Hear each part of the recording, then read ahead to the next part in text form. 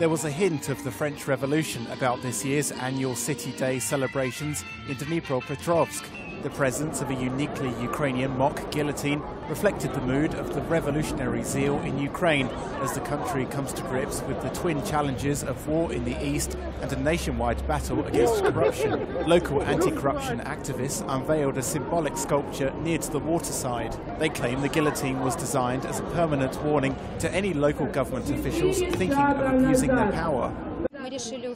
We decided to install the metal sculpture in Dnipropetrovsk to remind each official here that we're responsible to the Ukrainian people and that lustration in Ukraine is inevitable. While some people called for political change, other activists held City Day events to raise funds for the Ukrainian army. It's very important from a cultural point of view because we're still learning about volunteerism.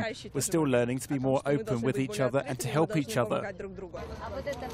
As the festivities in Dnipropetrovsk drew to a close over the weekend, reports of renewed fighting continue to flow further east in the Donbass region. Dnipropetrovsk has so far served as a bastion of Ukraine's resistance to Kremlin aggression, but residents here are all too well aware of how relatively close they are to the front lines.